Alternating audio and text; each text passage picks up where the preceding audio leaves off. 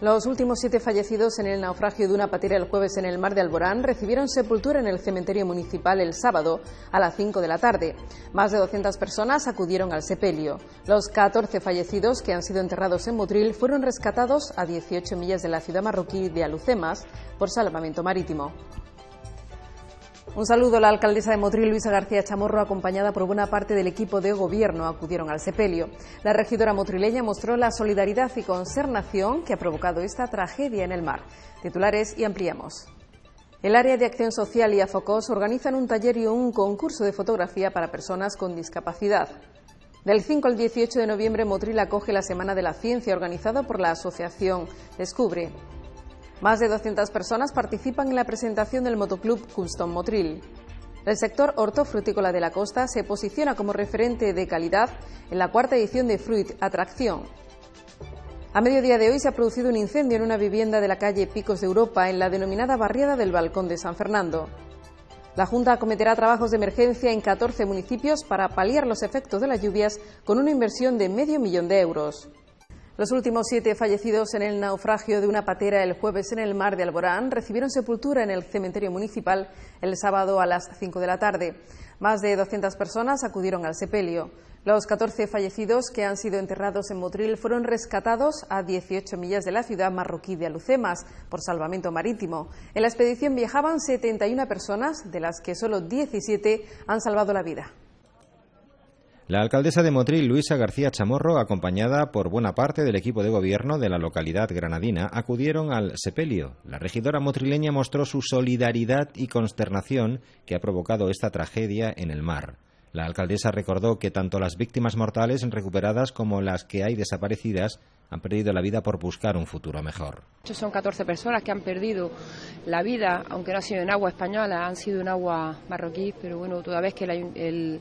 gobierno marroquí no se ha querido hacer cargo de sus cadáveres, bueno, pues el ayuntamiento de Motril va a correr con todos los gastos del entrenamiento de estas 14 personas que realmente pues no se merecían, no se merecían el fin que han tenido, venían buscando una vida mejor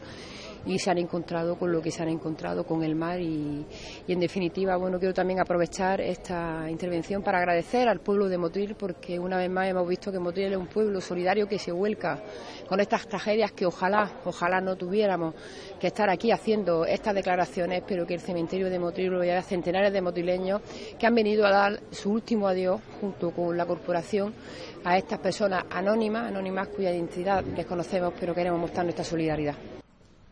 Los supervivientes que estaban en el centro de acogida temporal del puerto de Motril fueron trasladados el sábado en un autobús al centro de internamiento de Algeciras. Por parte de algunas asociaciones de, aquí de Motil se nos pidió que hiciéramos las gestiones desde el ayuntamiento por si entre los supervivientes había algún familiar de los fallecidos que pudieran asistir, que pudieran asistir hoy y que estuvieran aquí también presentes, pero desde la subdelegación del gobierno en primer lugar se nos dijeron que no se habían identificado aún ni los cadáveres ni a los supervivientes y que a las 3 de la tarde pues partían rumbo a Algeciras. A su llegada al cementerio motrileño, los ataúdes fueron trasladados por personal del ayuntamiento, mientras del servicio fúnebre y concejales del consistorio a la capilla del Camposanto. Los féretros han tenido que ser colocados sobre los bancos del templo debido a las pequeñas dimensiones del recinto religioso. El sacerdote que ofició la homilía, Ignacio Peláez, afirmó que se despiden a estas personas desconocidas pero conocidas y queridas por Dios. Peláez resaltó que estas tragedias no deberían ocurrir y que las personas no se pueden acostumbrar a este tipo de sucesos. El cura declaró durante el responso que estas tragedias no deberían ocurrir en el mundo humano, por lo que pidió responsabilidad a todas las personas para que sean más solidarias, para que nadie se vea abocado a abandonar su país para buscar su futuro mejor. Al entierro acudieron representantes de diversas organizaciones como Motril Acoge, Cruz Roja, Cáritas, así como asociaciones de inmigrantes de la comarca. Entre los fallecidos había dos mujeres, un menor de 16 años y otros dos de unos 18, y la edad media del resto de pasaje siniestrado no supera los 30 años. Los nichos estarán cubiertos con una lápida donde figurará la fecha del fallecimiento y una numeración que se corresponde con las diligencias previas del inicio un juzgado de Motril, con el levantamiento del cadáver y la posterior autopsia. El informe del forense incluye huellas dactilares y fotografías de objetos personales, así como muestras biológicas, de cara a una posible identificación en caso de que sus familiares reclamaran su reconocimiento. El área de acción social y AFOCOS organizan la próxima semana un taller de fotografía para personas con discapacidad. La iniciativa se llevará a cabo en el Centro de Ocio y Tiempo Libre de la Residencia de San Luis. Durante el mes de noviembre, además, habrá un concurso de fotografía para personas con diversidad funcional, cuyo tema será la charca de Suárez. La concejala de Acción Social, Ángeles López Cano, resaltó la inestimable colaboración de la Asociación de Fotógrafos de la Costa Tropical, AFOCOS, que un año más se suma a esta iniciativa para que las personas con diversidad funcional expresen sus sentimientos a través de la fotografía. La Asociación de Fotógrafos de la Costa Tropical está compuesta pues, por magníficos profesionales que dedican su tiempo a hacer la fotografía, a ver a través de la fotografía el mundo y que para nosotros es muy importante que ese tiempo también dediquen una parte de ese tiempo a enseñar a las personas con discapacidad para que estas personas también puedan aprender la fotografía y hacer magia con la fotografía. Porque a través de este taller de fotografía trabajamos por la inclusión de las personas con discapacidad, trabajamos por la integración de las personas con discapacidad y eso es algo muy importante que tenemos que seguir fomentando desde el Ayuntamiento de Motril y sobre todo es de alabar el que haya asociaciones, el que haya colectivos que quieran implicarse en que haya un mundo mejor para las personas con discapacidad y que haya las mismas oportunidades para todos. Tras el éxito de la iniciativa, el año pasado el Consejo Municipal de Personas con Discapacidad, formado por 37 asociaciones del municipio, volvió a solicitar esta actividad a la asociación profesional. El presidente de AFOCOS, Juan Ramón Méndez, resaltó que esta acción forma parte de los objetivos planteados por la asociación, dar a conocer la fotografía a todas las personas que no habían tenido acceso a ella. Fue una experiencia gratísima, gratísima, donde nosotros eh, yo creo que aprendimos más que ellos porque es una gente que nos enseñó muchas cosas y hemos querido repetir experiencia este año. Este año eh, va a ser básicamente igual, eh, pero eh, creo que, va a ser enriquecido por la experiencia del año anterior. nosotros, como digo, nos sorprendió muy gratamente y estamos encantadísimos de colaborar no solo este año, sino todos, mientras estemos todos los que se nos solicite en, acercar la fotografía a las personas con discapacidad que ellas descubren que sí pueden hacer este tipo de cosas y nosotros en ese trayecto nos encanta verlo y disfrutarlo también.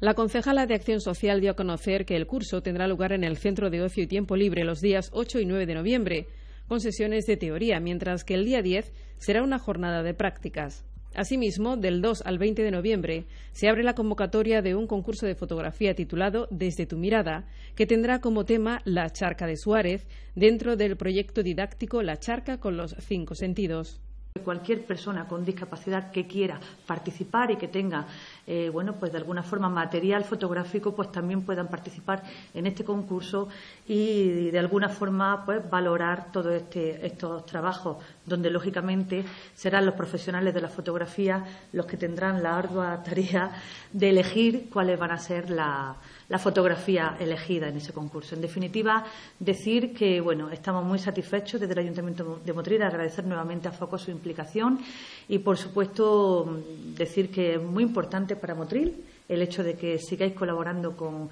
la sociedad porque eso os hace grandes como asociación. La concejala de Educación y Cultura del Ayuntamiento de Motril, Elena Vallejo, acompañada por el teniente de alcalde de Juventud, Alfredo Ortega Tobar, ha presentado esta mañana el programa de actividades de la decimosegunda Semana de la Ciencia, que se celebrará por tercer año consecutivo en nuestra ciudad del 5 al 20 de noviembre. Según explica Vallejo, para la Concejalía de Cultura es una gran satisfacción formar parte un año más de la mayor actividad de divulgación de la ciencia que se celebra de forma simultánea en España y Europa, avalada por la Fundación Des Greve cuya finalidad es el fomento de la sensibilización pública en torno a la ciencia, el conocimiento y la innovación, así como el establecimiento de cauces para dar difusión a los avances científicos y tecnológicos. Al ser el Ayuntamiento de Motril eh, patrono fundador de, la Fundación Descubre, nos, tienen en cuenta cada año para el desarrollo de esta importantísima actividad eh, que tiene lugar por tercera vez el tercer año consecutivo que, lo venimos desarrollando en nuestra ciudad para dar un conocimiento y una difusión mayor al campo de, la ciencia y de la investigación. La Semana de la Ciencia comenzará con el denominado Café Conciencia, que se celebrará de forma simultánea en toda Andalucía del 5 al 18 de noviembre. En Motril tendrá lugar en el CICA y brindará la oportunidad a 60 alumnos de secundaria y bachiller de trasladar preguntas y compartir experiencias de forma distendida con prestigiosos científicos e investigadores de la Universidad de Granada. La programación continuará con la experiencia El azúcar con cinco sentidos. Otra de las actividades también dirigida al ámbito educativo eh, será el azúcar con los cinco sentidos. En este caso va dirigido a los alumnos de primaria y serán los guías del Museo Preindustrial los que se acerquen a los distintos centros educativos que tengan interés en participar de esta actividad, en el que mostrarán a los, más jóvenes, a los niños de, primaria, pues el azúcar en toda su, su dimensión y podrán pues desde tocarlo, leerlo, conocer los distintos procesos de elaboración del azúcar y de ahí que se denomine con los cinco sentidos. Esta Semana de la Ciencia contará también con actividades dirigidas a la población general, ya sean asociaciones o personas individuales. Así los días miércoles y sábados 7, 10, 14 y 17 de noviembre, el Museo Preindustrial de la Caña celebrará jornadas de puertas abiertas, con visitas guiadas de forma gratuita, al tiempo que del 5 al 18 del mismo mes se llevará a cabo Descubre tu ciudad, una atractiva propuesta que mostrará el patrimonio cultural de Motril, haciendo un recorrido por todos los monumentos y lugares de interés de la ciudad. Elena Vallejo ha animado a toda la sociedad a formar parte de esta nueva cita con la ciencia, que el año pasado se cerró con un excelente balance de mil participantes, al tiempo que ha subrayado el honor que supone para el Ayuntamiento de Motril poder colaborar con la Fundación Desgrove, y hacerlo además con un coste cero para las arcas municipales que presta el personal y las dependencias municipales. Cabe destacar que tanto los centros educativos como las personas en general que deseen participar deberán ponerlo previamente en conocimiento en la Concejalía de Cultura a través del teléfono 958 83 84 50, el fax 958 60 45 25 o las direcciones de correo electrónico cultura arroba y museo del azúcar arroba. Más de 200 personas han participado en la presentación del Motoclub Custom Motril. La iniciativa ha contado con la colaboración del Ayuntamiento y la Asociación de Vecinos de Puntalón Anejo, en el que se desarrolló la propuesta, concretamente en el patio de las escuelas. El presidente del motoclub, Carlos Cózar, explicó que en la iniciativa han participado personas de toda la costa, Córdoba, Jaén, Málaga, Almería, Murcia y Madrid. A pesar de las inclemencias climatológicas, se ha reunido bastante gente, más de lo que esperábamos Siempre intentamos colaborar en la medida de lo posible con cualquier tema, no, nos importa, sea del índole que sea, la cuestión es, porque esto se hace sin ánimo de lucro. Aquí la cuestión es pasar un día en familia con todos los amigos, creo que habréis podido comprobar que esto es una familia muy grande y luego pues intentar ayudar a quien lo necesite. El ayuntamiento se está volcando en todos los eventos que hemos realizado, han puesto de su parte todo lo que han podido y creo que hasta más. No podemos tener ningún problema y esperemos que esto siga así. Tras la comida, además de disfrutar de música, los moteros participaron en la rifa de dos tatuajes. Lo recaudado se destinará a los damnificados por el terremoto de Lorca. La alcaldesa de Motril, Luisa García Chamorro, presente en el acto, mostró el apoyo a este tipo de iniciativas que son solidarias y sirven de promoción a la ciudad. Pues la verdad es que sí que estamos aquí hoy apoyando esta concentración que han hecho desde este cruz nuevo que sale en Motril, justo en Motril de moto, que tiene también sus motileños y su gente que apoya este tipo de actividades lúdicos, recreativas. Y tenemos que decir, bueno, destacar dos aspectos. El primero, que son casi 200 personas las que están participando en esta concentración y son 200 personas que la mayoría, como ha dicho el presidente, vienen de fuera y bueno, pues aprovechan para conocer Motril y yo creo que desde el punto de vista turístico pues son personas que por primera vez se han acercado a Motril y eso y eso consideramos que bueno. Y segundo, bueno, pues alabamos la iniciativa que han tenido desde el club de hacer esa recaudación para los damnificados de Lorca, que yo creo que es importante. Por lo tanto, el Ayuntamiento de Motril va a estar siempre apoyando este tipo de actividades. El Ayuntamiento de Motril y la entidad local autónoma de Carchone Calahonda han respaldado la presencia de los agricultores y las distribuidoras hortofrutícolas del municipio en la Feria Internacional del Sector Fruit Atracción que se ha celebrado en Madrid. El concejal del ramo, Nicolás Navarro, ha destacado el carácter profesional e internacional de esta feria hortofrutícola, que consolida su posición como evento empresarial en auge para el sector agrícola, mediante el cual establecer contactos que abren nuevas oportunidades de negocio. Asimismo, el responsable de Agricultura ha destacado el amplio grado de consenso de los agricultores de la zona respecto a las propuestas redactadas en la nueva ordenanza agrícola, que actualizará un documento que databa de los años 80, a la par que ofrecerá herramientas para brindar más calidad en nuestros productos y, por tanto, que sean más competitivos. Por su parte, la presidenta de la entidad local autónoma del Llano, Concepción Abarca, ha expresado su satisfacción por la excelente imagen que ha proyectado las empresas y alóndigas de la costa en Fruit Atracción, que convierten a la comarca en un referente de primera magnitud. Para finalizar, Nicolás Navarro ha expresado la necesidad de que las administraciones muestren su respaldo hacia iniciativas como esta feria hortofrutícola, especialmente en un sector pujante como es la agricultura, que es el motor económico del municipio. Las empresas Miguel García Sánchez e Hijos y Eurocastel, que conforman uno de los principales grupos comercializadores y exportadores de Andalucía, con más de 600 trabajadores repartidos en sus diferentes centros, han vuelto a situarse en el epicentro de la atención comercial tras su participación en la cuarta edición de Fruit Atracción.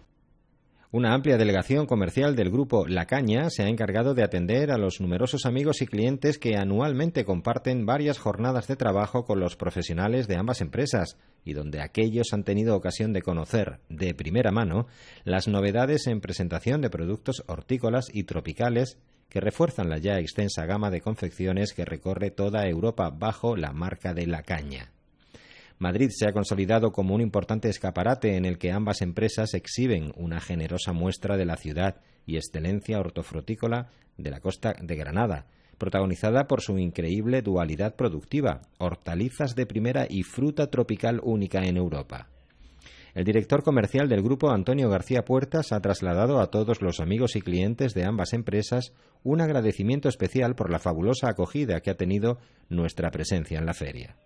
Por otro lado, esta importante convocatoria anual, a la que se ha sumado casi 700 empresas, ha servido para dar a conocer los nuevos productos audiovisuales que forman parte del marco de imagen que rodea la actividad del grupo La Caña.